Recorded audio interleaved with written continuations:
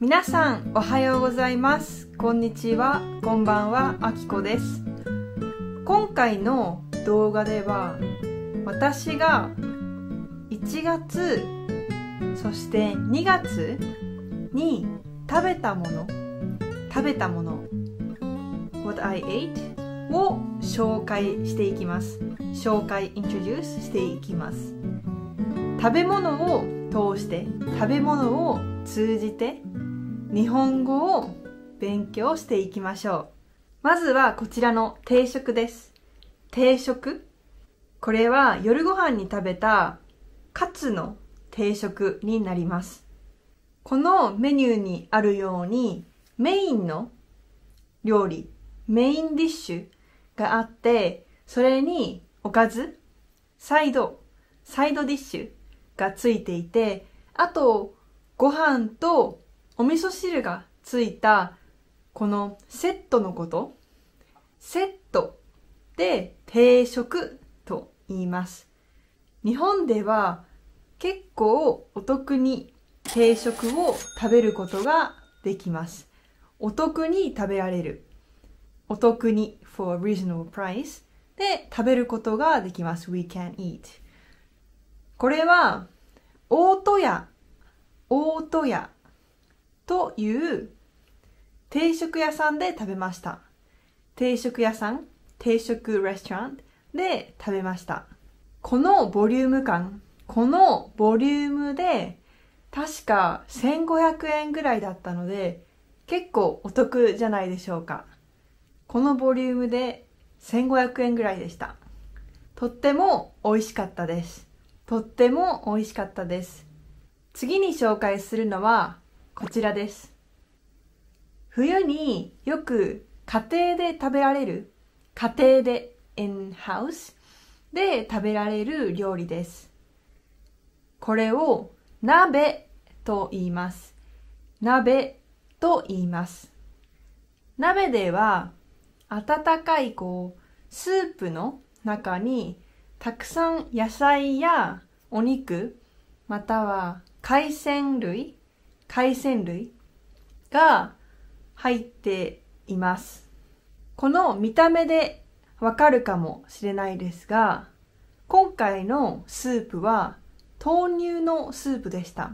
豆乳のスープ、ソイミルクのスープでした。冬に食べるとすごく体が温まる。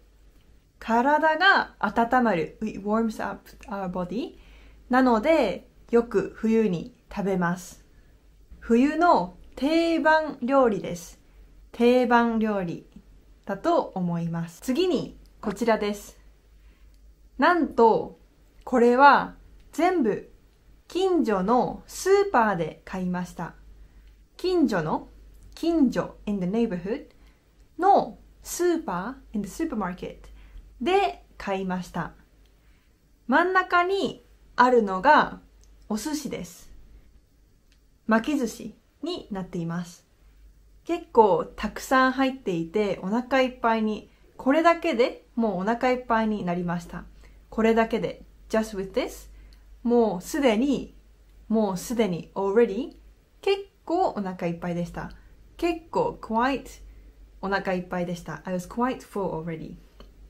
で、その隣にあるのがピザ。ピザも食べました。あと、その左側にあるのはタイの生春巻きです。生春巻きになります。春巻きはスプリングロー。で、タイの生春巻きを食べました。で、一番左にあるのが韓国料理、韓国料理のヤンニョムチキンというものです。ヤンニョムチキンは結構韓国料理の中で人気のあるものです。ヤンニョムチキンはこうフライドチキン揚げたチキンにこう少し甘辛い甘辛い甘い is sweet 辛い is spicy 甘辛い sweet and spicy な味付けになっています。な味付けになっている。なので、このスーパーで買ったメニュー、スーパーで買った夜ご飯は、左から韓国料理、韓国料理、そしてその隣がタイ料理、タイ料理。で、その隣が日本食、日本食、または和食。で、最後のピザがイタリア料理になります。結構スーパーで世界中の食べ物、スーパーで世界中の食べ物、menus and、uh, food from all around the world を買って、買って家で楽しむことができます。家で楽しむことができます。次に今月食べたカレーを紹介します。2回カレーを食べました。1つ目がこちらです。1つ目がこちらになります。これは真ん中真ん中に in the middle にご飯が置いてあります。The rice is placed in the middle で、その両サイド both sides 両側両端にカレーが2種類選べました。2種類 two kinds 選ぶことができました。I could choose two different kinds of curry 私はその2種類で牛肉のカレーとバターチキンカレーを選びました。2つ、この2つを選びました。どちらもとっても美味しかったです。で、今月もう一個カレーをお店で食べました。お店で食べました。at restaurant。これがその時の写真です。これがその時の写真です。This is the picture from that time. この時も2種類のカレーを選べました。I could choose two different kinds of curry. で、このセットにはナンがついてきました？ナンがついてきました？あと、サラダも一緒についてきました。サラダも一緒についてきたので、結構お得なセットでした。お得なセット、reasonable price、セット、like a set でした。次に私の大好きな韓国料理の紹介です。韓国料理の紹介です。これは韓国料理のサムギョプサルという焼肉のメニューになります。焼肉の韓国料理の定番です。定番になります。お店の方が、お店の方、お肉をテーブルの上のグリル、the grill on the table で焼いてくれました。焼いてくれました。They、um, cooked it for us. で、その焼けたのを周りのレタスで包んでソースをつけて食べました。包んで wrapped it in veggies で食べました。奥に、写真の奥に見えるんですけれども、この時も私の大好きな、私の大好きなヤンニョムチキンを食べました。ヤンニョムチキンを食べました。なんと今月2回も韓国料理を食べに行きました。